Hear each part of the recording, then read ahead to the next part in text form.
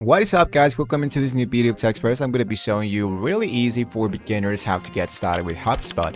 If you haven't used HubSpot before, I'm going to be showing you what exactly we can do here into the HubSpot. It's a really, really great application to manage and control your sales, your account, your business into just one place. So in order to get started, head into app.hubspot.com and create your account. Once you have created your account, it's going to be showing you something like this. What would you like to do with HubSpot first? So what you're going to be earning here, what we can be doing here is to track some deals, to create some performing sales, or to send marketing emails to potential customers. It's going to be really, really great to use this app. So um, you want to get started with sending marketing emails to potential customers. And as you can see, we they can actually help us with templates, campaigns, and do it independently. If we wanted to to track deals into one place. They have the sales pipeline, we have the real life milestones, and the records to capture the key of how we can drive into some sales. So focus into the very upper side or you can start without an actual specific goal. So now I'm going to be showing you how does the actual dashboard of the HubSpot. So it's going to be showing us the dashboard of the HubSpot. So as you can see, we have the deals of our account, how many close date we have done so far, how many amount of the currency we have earned through our all company, we have the revenue of our goal. We have here down here, we do have how many uh, let's say conversions of qualified appointment contract sent and closed we have done so far through the last month and it's going to be showing me more elements. Now in here into the upper side we have the context. Here into our context we can add let's say in unassigned we can identify the customer people. We can add let's say for example attempt to be qualified. You want to add your new customers. You want to add like your new uh, employees and we can add more much more if I click into a specific contact, this one should be showing me uh, all the overview about this actual people person. We have the post the last name we have the email have the phone number and we have the contact owner. We can have uh, added some notes here. So managing all our employees and our customers should be really really easy into our actual HubSpot so let's go into I'll do this later without some data I'm gonna hit into let's go I'm gonna hit into skip for now and check it out here into the right part that we have the HubSpot step in order to get started here. So we can import our own data. We can import, uh, let's say, more elements here. We can customize our deal stages. I'm going to skip this for now. Once again, let's go back into our dashboard. And as you can see, we have different dashboards that we can create totally from scratch. So as you can see, we have the chat overview, the email overview, the marketing overview, and the marketing channel performance. We have sales, sales manager, uh, service, custom service, website business engagement, and much more. So I'm going to focus now into website visit and engagement since that is my actual goal with the actual HubSpot. So I'm going to hit into next. I'm going to go with create the dashboard. I have this name of my dashboard. I'm going to hit into go to my dashboard.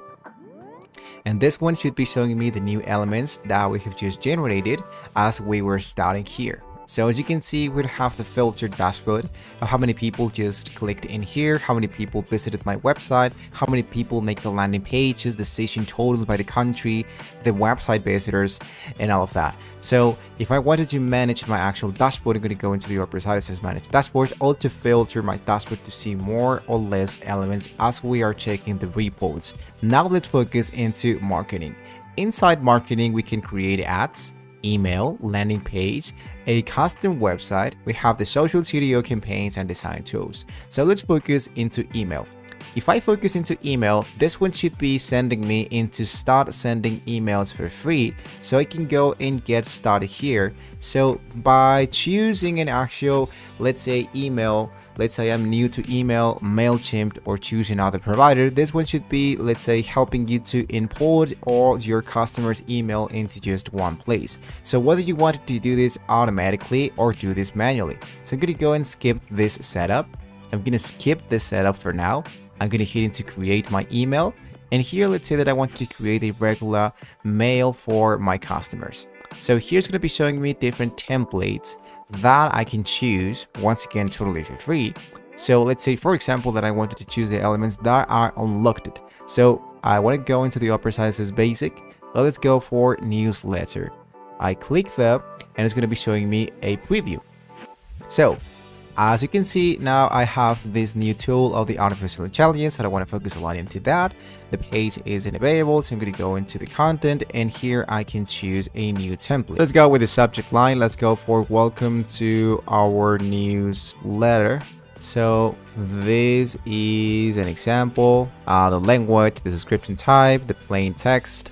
So we have the send and or schedule, send to, and we can add our contact in here or just import them and don't send to. And lastly, we have the automation. So the automation is going to be helping us to, let's say, figure out what's going to be happening after we uh, sent the email. So after that, just go into review and send and hit into send. So it's going to be really, really easy to use this tool. Now, after we go here, if I focus into the conversation to the upper side, if I go into my inbox, check it out we can connect different channels into just one place. So I can connect a live chat of my website. I can manage messenger conversations in here, forms, and all of that. So let's click into Facebook Messenger, for example, and here's going to be asking us to sign into our Facebook account in order to check it out how it's going to be looking uh, our chats directly from the actual Facebook into HubSpot. And this is how we can manage our actual HubSpot, our company, our branding logo stuff into just one place of the actual HubSpot. I'm going to close this just now and I'm gonna go now back into my sales and check it out some different deals. So as you can see, there's a lot of elements that we can choose in order to have really great advantage.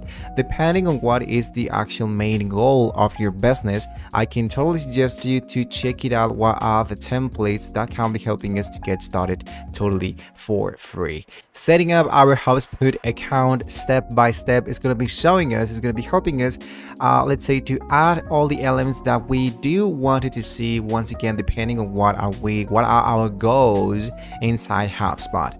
So with that being said guys, we have now reached into the very end of the video, so don't forget to like and subscribe to the channel if you wanted to see more great tips of how you can get started with the HubSpot CMS Hub totally for free. Thank you so much for watching the video guys, hopefully I can see you next time.